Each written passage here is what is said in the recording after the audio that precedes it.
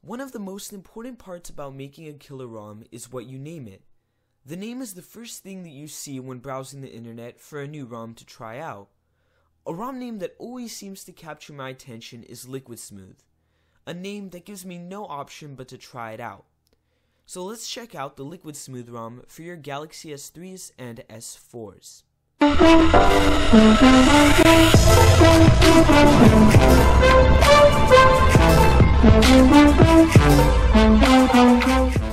Now, before you ask, this ROM is based off of Android 4.4.2. And what I love about this ROM is it takes the best features from other custom ROMs and puts them all into one. So let's get right into all the features that we get. We're going to start off with interface. And under interface, the first setting that we get is to customize our battery icon. If we open this up, this is always a really cool feature as we can go through many different battery options and you definitely won't run out of choices here.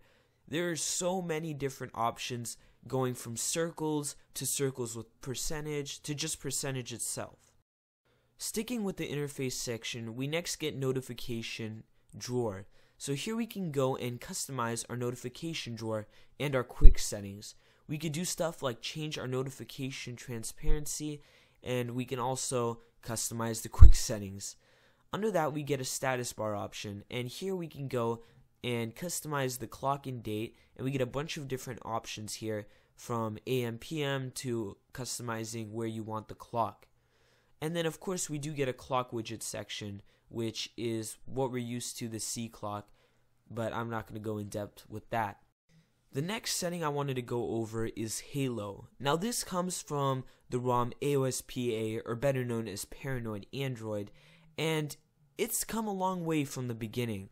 Now it was first based off of Facebook Messenger feature where you'd have the little chat heads. So let me give you a quick demo of Halo. So when you first get a notification, a circle will pop up like this, and it will go through and explain to you all the different features that you need to use Halo. And if we swipe up, you get different stats like the clock, battery percentage, and any notifications that are there. You can also swipe down to delete any Halo messages that you had there.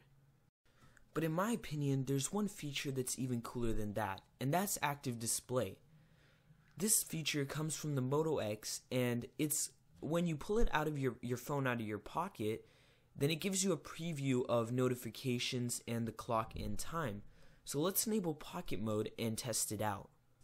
So as you can see, I'm outside and my phone is in my pocket, and I quickly want to go and check if I have any notifications. As you can see, it will show you the date, the time, and it will also show you any notifications you have. And then it's up to you if you want to unlock the phone and check out what messages you received. So yes, at the end, I definitely think that this ROM lives up to its amazing name. It's fast, it's smooth, and it offers some of the best features that are actually useful to me and doesn't cram me with a bunch of features that I'm not going to be using. Now, this ROM is very, very stable, and I'll have the download links down below. And the interesting thing about the download links is it's actually one download link that you download for any US carrier S3 or S4. And then once you go into your recovery, you will be able to see your specific device, the ROM for it. So then you'll install that in GApps, and that's basically it. Guys, I hope you enjoyed this video. Give it a thumbs up. Thanks for watching, and make sure to subscribe.